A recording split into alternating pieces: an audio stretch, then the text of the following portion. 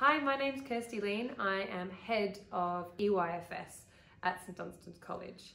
And I just want to explain to you why um, St Dunstan's is such a wonderful place for your child to have their early years experience. Um, we have a really child-led, child-centered program at St Dunstan's right from the beginning when the children walk in the door. We find out who they are, what they love, and how we can embed that into our practice every day.